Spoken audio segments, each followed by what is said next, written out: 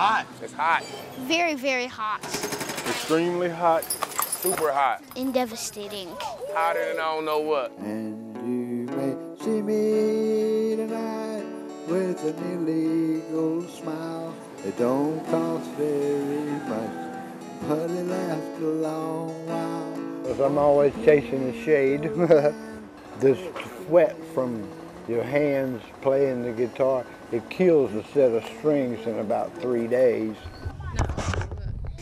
Hold it this way, both hands, and then put your thumb on the green. Holy moly, guacamole!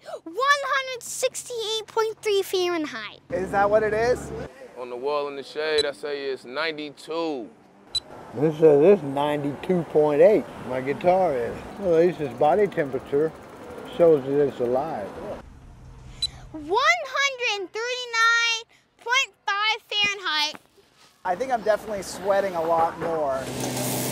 I ain't think it was gonna be this hot out here, hundred and something degrees, like it's coming. We sweating just walking, man. It's off the side of that red truck. 123.8. It's extremely hot.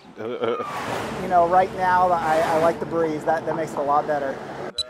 98.2 on his body. This, him. I need some water. But if I put it on his breath, it might be something different.